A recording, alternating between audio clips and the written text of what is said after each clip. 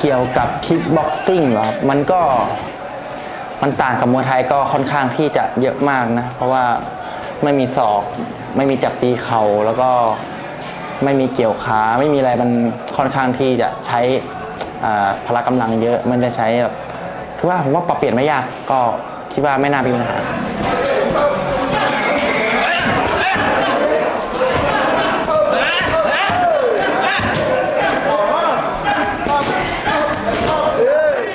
ผม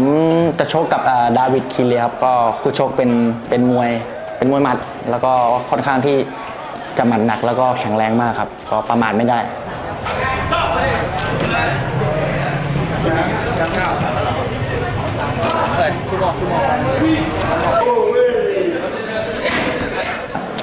I want kickboxing belt ครับ ผมต้องการเข็มขัด kickboxing ครับ ก็เป็นอ แรงบันดาลใจอีกเส้นหนึ่งที่อยากมีเป็นความฝันครับ